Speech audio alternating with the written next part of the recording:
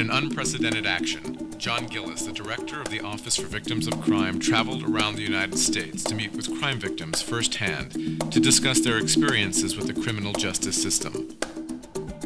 A series of roundtable meetings were held in nine states, with 30 states represented and over 300 participants. After careful analysis of the informative and heartfelt opinions expressed, there were certain areas of consistency that emerged. Issues focused on both the problems that exist in the criminal justice system and the needed remedies from the perspective of crime victims. This program series captures and reflects some of the key findings of the roundtable discussions. The series includes a total of five thematic videos on topics ranging from the financial impact of crime on victims to victim notification and basic case information. The opinions expressed are emblematic of many of the participants and is a way in which the Office for Victims of Crime has given a voice to victims.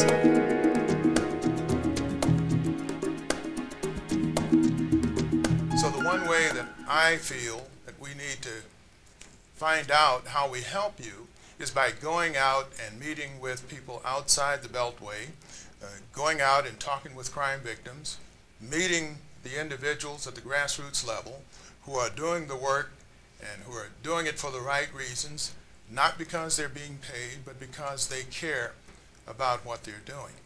So I want to use this as an opportunity to find out from you how we can best help you at the grassroots level, how we can best do some of the things that will help you get through the tragedies that you've all suffered. We've had a lot of success over the last two decades, but in every state, in every city, every week, week in and week out across this country, there are victims who still do not get notice of their cases, do not get notice of hearings um, or proceedings in their cases, um, are excluded from the courtroom at critical times because of a defendant's strategy um, or because of court indifference, are not allowed to speak when a release decision is made, when a plea bargain is entered into, when a sentence is going to be imposed, when parole is going to be granted.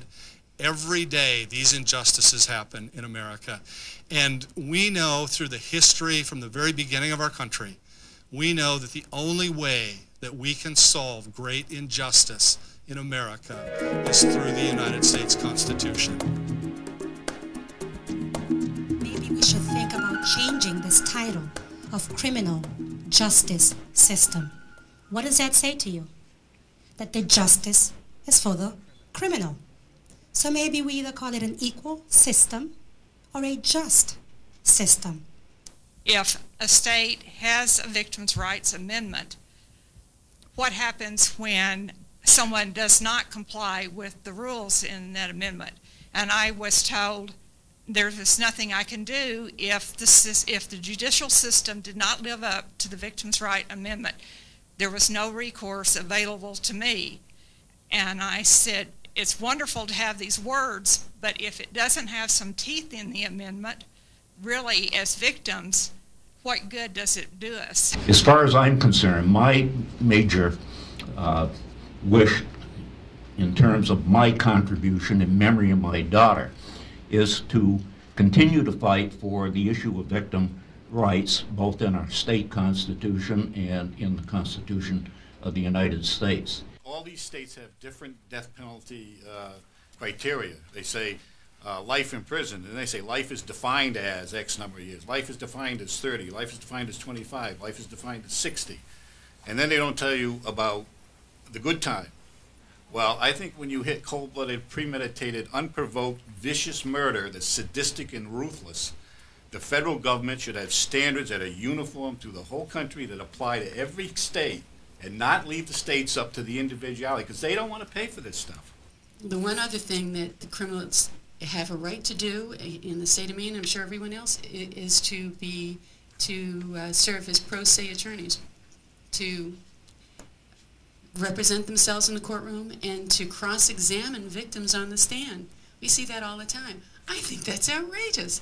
I mean, talk about the just incredible, incredible victimization when you're, it's hard enough to get up there, it's hard enough to be on the stand, and then to be cross-examined by the person who beat, raped, whatever you. I, I, I just, I don't think that's a right that people should be allowed to have. We were completely re-victimized and run over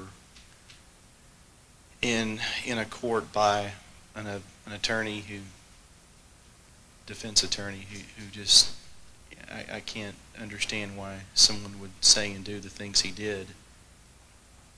It's well documented.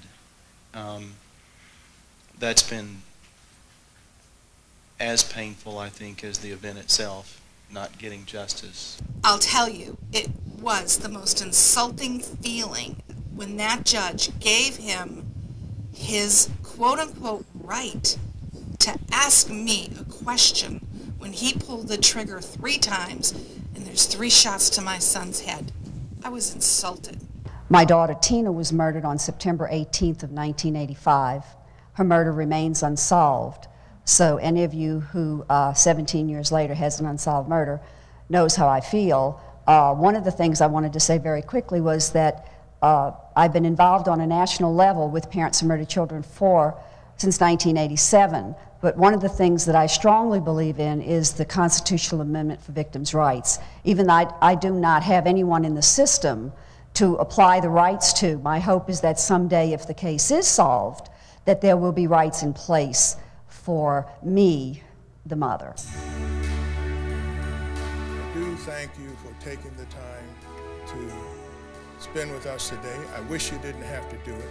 I wish we were here under different circumstances because none of us chose to have a tragedy happen in our lives. But now that it has happened, let's see that we can see if we can take advantage of that and try and help others who have to follow so that they don't have to suffer the same pain that we've suffered. So thank you. The following is a summary of the key points made during this program. The current state laws in terms of victims' rights are perceived to be ineffectual.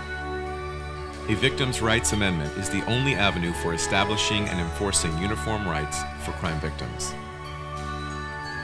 The overall consensus is that there is a profound need for a constitutional amendment for crime victims.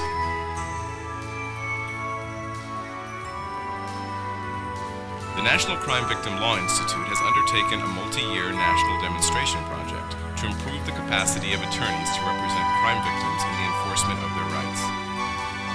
The project involves the establishment of nine legal clinics for the direct representation of victims in criminal court, creation of a nationwide network of crime victim attorneys, dissemination of a semi-annual newsletter on victims' rights, and a national training conference for attorneys litigating on behalf of victims.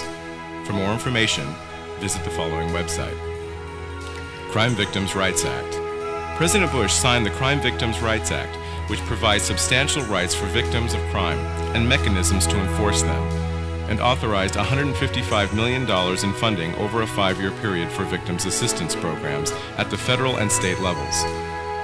In January 2006, the U.S. Court of Appeals for the Ninth Circuit issued an opinion, the first case under the Crime Victims' Rights Act, upholding the right of crime victims to speak at a convicted criminal's sentencing hearing.